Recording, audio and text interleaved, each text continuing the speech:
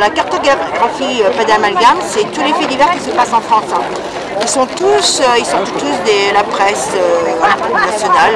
On fait des fouilles dans tous les journaux subventionnés et ça nous donne des petits points sur la carte. Donc il y a tout ce qui est faits divers avec des objets, des sabres, des couteaux, des pistolets, etc. Et il y a toutes les agressions physiques, les tabassages, les séquestrations avec les tortures. Les marchages, tout ce qu'on veut. Il y a tout ce que subissent les policiers, les gendarmes, les, surveillants de prison. il, y a, il, y a, toutes les décisions un petit peu surprenantes qui sont prises au niveau France et Europe.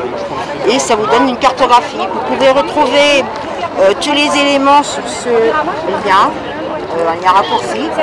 Et puis, donc, un jour, tous les deux, trois jours, vous avez une situation exacte de ce, qui se passe en France. La cartographie, elle existe pour l'Italie, elle existe pour l'Allemagne. pour l'Allemagne, il y a une cartographie spéciale des agressions sexuelles par rapport aux migrants. voilà, ça